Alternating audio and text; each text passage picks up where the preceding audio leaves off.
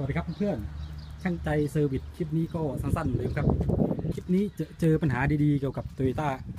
ไฮรักวีโก้นะครับเพื่อน ปัญหามีว่าเวลาเราขับรถไปแล้ว เวลาตกหลุมอะกระจกมันจะสั่นแบบนี้นะครับกระจกมันสั่นแบบนี้เวลาเรามอง พอเวลาเรามองข้างหลังมันก็จะจะรู้สึกรำคาญนะครับก็เดี๋ยวมาดูการแก้ไขกันว่าจะต้องแก้ไขอย่างไรนะครับ วิธีการแก้ไขให้เราถอดเจ้าตัวฝาครอบสีดำนี้ออกนะครับ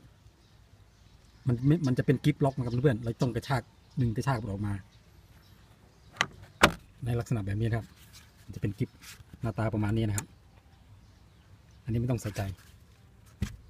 พอเราถอดฝาครอบสีดำออกมาแล้วเราจะพบกับน็อตสามตัวนะครับน็อตสามตัว มันจะเป็นน็อตเบอร์สิบให้คลายน็อตสามตัวนี้ออกมา เพื่อที่จะดึงหูจกให้มันหลุดออกจากหาแหวนแหวนอีแปะมา สักหกตัวครับ มาวาง มาสวมเข้าเข้าไปในนี้นะครับ เพื่อที่จะทำให้มันกระชับขึ้นกว่าเดิมนะครับ เดี๋ยวขออนุญาตวางกล้องแป๊บนึงครับเพื่อนให้ให้หาแหวนที่แปะมาลองแบบนี้นะครับสามจุด บางคันก็ใช้ตัวหนึ่งบางคันก็อาจจะใช้สองมันก็ไม่แน่นอนครับ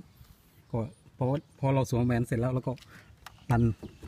ดันหูกระจกให้กลับเข้าในร่องเหมือนเดิมนะครับพอหูกระจกกลับเข้าในร่องเหมือนเดิมแล้วขั้นตอนทันมา เราจะติดตั้งน็อตตัวเมีย มันจะมีสามตัวเหมือนเดิมเข้าเข้าที่เดิมนะครับก็เดี๋ยวขออนุญาตวางกล้องอีกครั้งหนึ่งนะครับ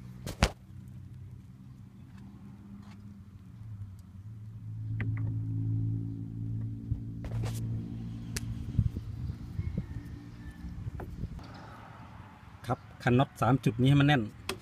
แล้วก็มาโยกดูครับ โยกดูว่ามันสั่นอยู่หรือเปล่า ก็เมื่อก่อนมันจะโยกได้พอเราคันจนแน่นแล้วมันจะไม่โยกแล้วครับเพื่อนก็เพราะแหวนสามสามตัวที่เราสามชุดที่เราใส่ไปเมื่อกี้ครับ ก็เป็นการแก้ไขปัญหาด้วยตัวเองเบื้องต้นนะครับ สามารถทำเองได้ที่บ้านกรอบเสร็จ แล้วก็สามารถจับเข้าไปหาครอบนี้เคาะแบบนี้ก็โอเคแล้วครับ ส่วนถ้าเป็นด้านซ้ายก็เหมือนกันครับแงะออกมาเหมือนกันทำเหมือนกัน มีน็อตเหมือนกัน ก็หวังว่าคลิปนี้มันจะพอเป็นประโยชน์และเป็นแนวทางให้เพื่อนอีกแนวทางหนึ่งขอบคุณที่เสียสละเวลารับชม ขอบคุณครับ